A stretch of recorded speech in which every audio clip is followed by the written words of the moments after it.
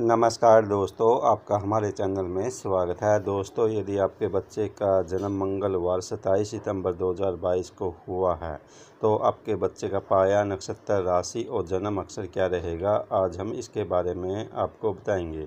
दोस्तों, यदि आपके बच्चे का जन्म सताईस सितंबर को सुबह बारह बजकर चौदह मिनट ए एम से छः बजकर सोलह मिनट ए एम के बीच में हुआ है।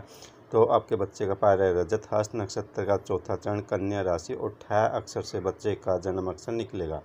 और यदि आपके बच्चे का जन्म छः बजकर सत्रह मिनट ए एम से बारह बजकर अठारह मिनट पी एम के बीच में हुआ है तो आपके बच्चे का पारा रजत, चित्रा नक्षत्र का प्रथम चरण, कन्या राशि और पे अक्षर से बच्चे का जन्म अक्षर निकलेगा।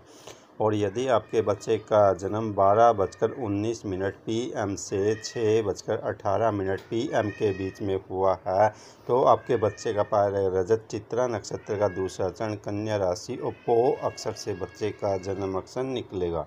और यदि आपके बच्चे का जन्म छः बजकर उन्नीस मिनट पी एम से बारह बजकर सत्रह मिनट ए एम अट्ठाईस सितंबर दो हज़ार बाईस को हुआ है तो आपके बच्चे का पायर रजत चित्रा नक्षत्र का तीसरा चरण तुला राशि और रा अक्षर से बच्चे का जन्म अक्षर निकलेगा। धन्यवाद।